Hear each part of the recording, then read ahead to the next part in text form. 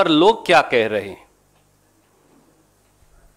कह रहे हैं, हाय हाय री मोदी सरकार, कभी पान पकोड़े और कभी चौकीदार।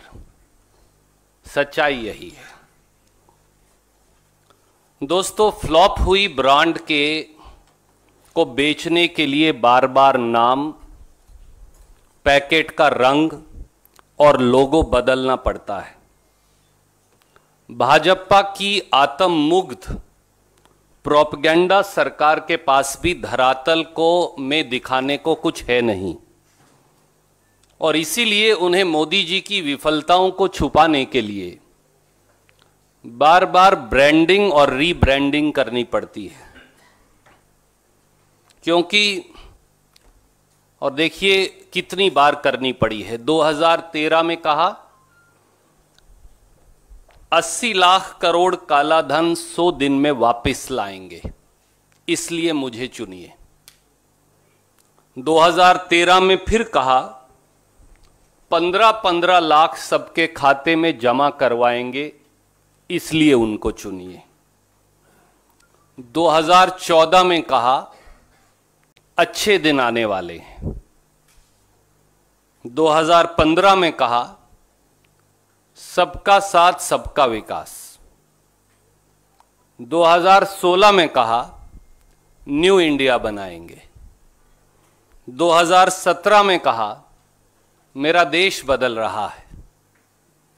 2018 में कहा, साफ़ नियत, सही विकास।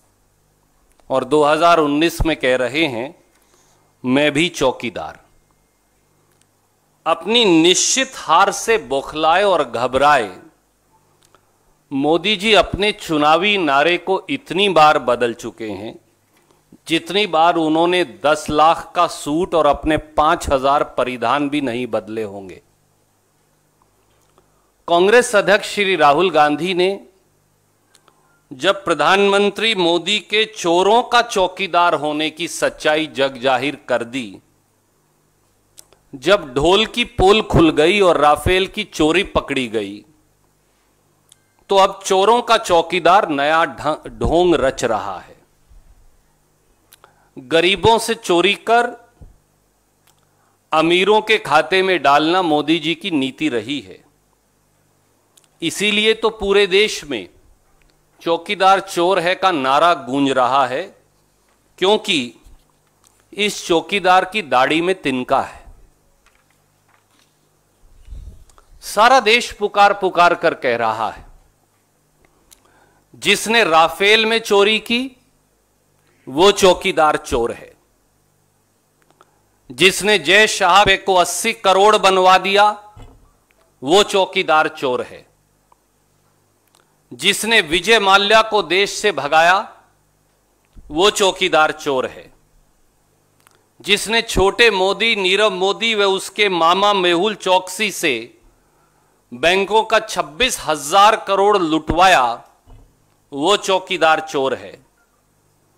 जिसने देश के बैंकों से ठगी करने वाले, लोगों के हाथों से एक लाख करोड़ लुटवाया, वो चौकीदार चोर है।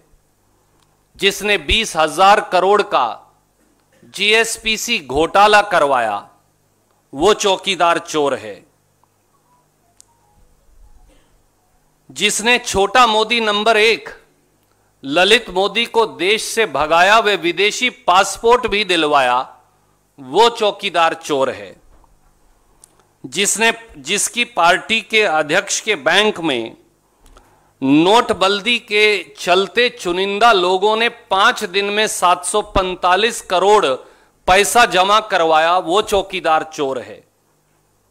जिसने मुट्ठी भर पूंजीपति मित्रों का तीन लाख सत्रह हज़ार करोड़ बैंक कर्ज माफ़ करवाया, वो चौकीदार चोर है, जिसने छत्तीस हज़ार करोड़ के छत्तीसगढ़ पीडीएस घोटाले की जाँच में अड़ंगा अड़ाया, वो चौकीदार चोर है, जिसने उनहत्तर हज़ार तीन सौ इक्यासी करोड़ रुपए के स्पेक्ट्रम घोटालों को दबाया, वो चौकीदार चोर है। और जिसने देश में संस्थागत भ्रष्टाचार करवाया, वो चौकीदार चोर है। और वो लोग आज खुद को, चोरों के चौकीदार को, की वाहवाही करने से थक नहीं रहे। दोस्तों, पवित्र ग्रंथ रामायण में लिखा, रावण आया था साधु बनकर, मारीच आया था हिरण बनकर, कालनेमी आया था ऋषि बनकर। लूटपाट और अपहरण के उद्देश्य से, युग युगांतर से छलने वाले भेष बदलकर आते रहे हैं। और वर्तमान में भी अली बाबा, यानी मोदी बाबा और चालीस चोरों की टोली है, जो अपने नाम के आगे चौकीदार लगाकर घूम रही है। और आखिर में मोदी जी हम आपको यह कहेंगे कि चौकीदार तो सिर्फ़ जैसा प्रियंका जी ने कहा चौकीदार तो सिर्फ़ अमीर लोग रख पाते हैं। किसान, शोषित, वंचित, खेत मजदूर, पत्रकार मध्यम वर्गीय लोग, ये तो चौकीदार रखते ही नहीं। चौकीदार ने न केवल राफेल में चोरी की है, बल्कि पाँच साल में, पाँच साल से की है युवाओं की नौकरियों की चोरी, किसान के उचित दाम की चोरी महिला सुरक्षा व उनकी हिस्सेदारी की चोरी